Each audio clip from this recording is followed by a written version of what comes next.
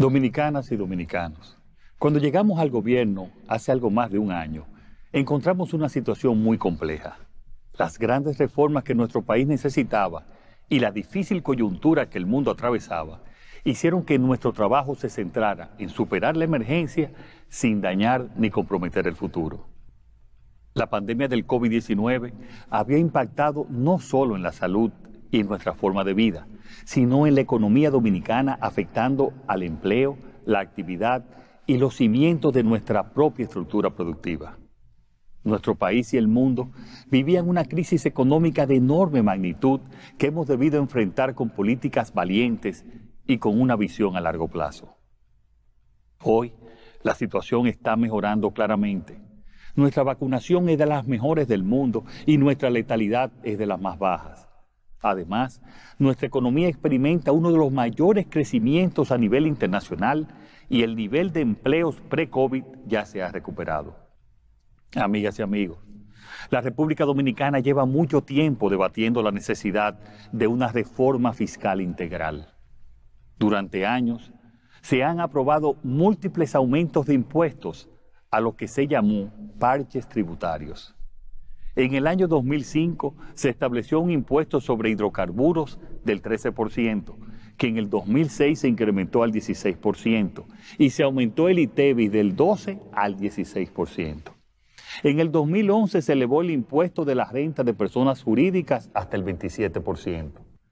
En el 2012 el ITEBIS pasó del 16 al 18%, grabando bienes que hasta entonces estaban exentos como el aceite comestible, el azúcar, el cacao y el café.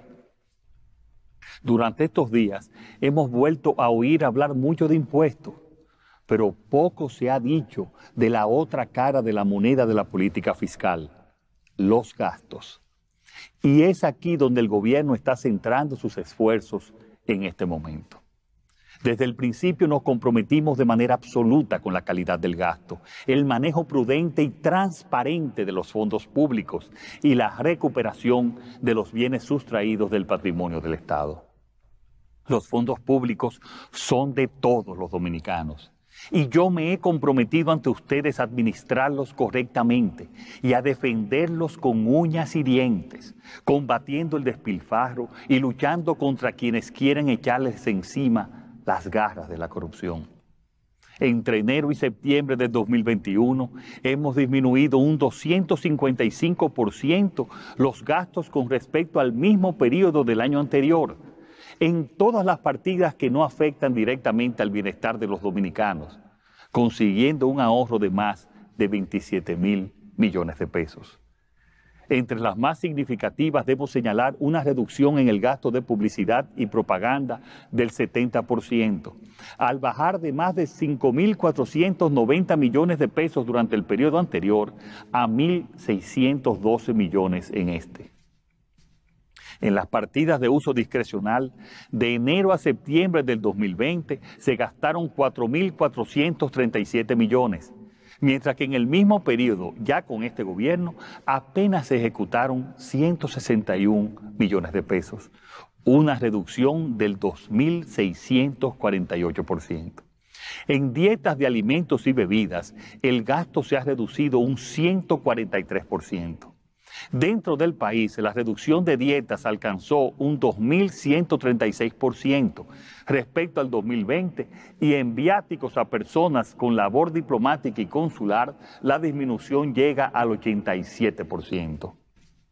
En la compra de muebles y equipos de oficinas gubernamentales, la ejecución en el 2021 fue de 479% menos con relación al 2020. Y en materiales perecederos, las reducciones sobrepasan el 1.500%. Además de esto, hemos reducido estructuras, eliminado entidades y fusionado otras. Ejemplo de esto es el despacho de la primera dama, Procomunidad, la Oficina de Ingenieros Supervisores de Obras del Estado OISOE, el Consejo Estatal del Azúcar, la CDEE, e, FOMPER o la fusión de la DIAPE y el DICOM, entre otras y seguiremos con esta misma línea de mejorar la calidad del gasto.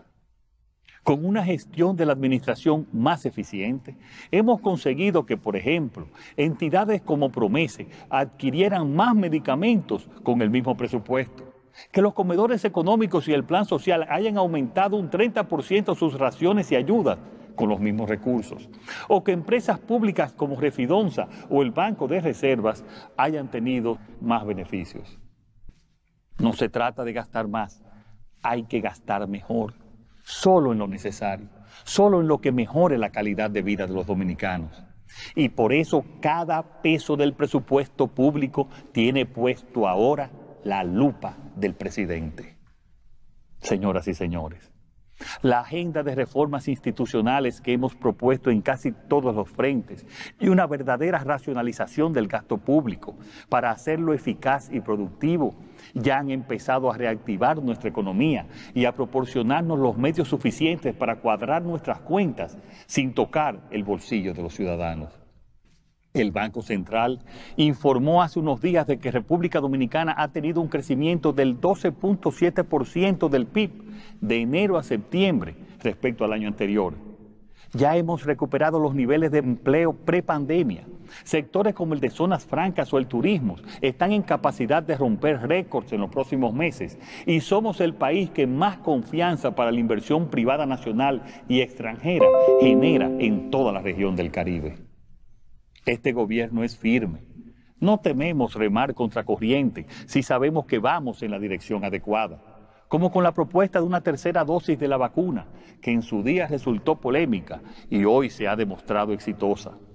Pero también escuchamos a nuestro pueblo y somos conscientes de que hoy, con un aumento exponencial de los precios internacionales del petróleo, de los productos de alimentación básicos, de las materias primas para fertilizantes, con el impacto que eso tiene en las economías domésticas, no es el momento de pedir a los dominicanos más esfuerzos, es el momento de estar cerca de la gente. Por eso no vamos a aumentar impuestos. Y hoy quiero anunciarles que no someteremos ninguna reforma tributaria. Ahora, nuestra única prioridad es consolidar la recuperación económica. Señoras y señores, las posibilidades de la República Dominicana son enormes, pero los necesito a todos ustedes conmigo para sacar este país adelante. Tenemos un enorme reto colectivo ante nosotros y estoy dispuesto a trabajar hombro con hombro con cada dominicano y dominicana para conseguir los objetivos que como país nos hemos propuesto una nación en proceso de desarrollo, con una inversión pública productiva que genere un crecimiento económico que llegue a todos y con una mejora de la red de servicios públicos.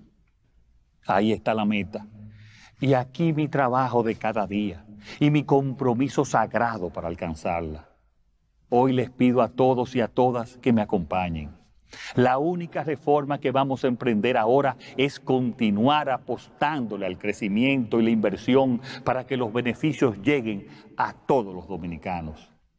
Muchas gracias y que Dios siga bendiciendo a la República Dominicana.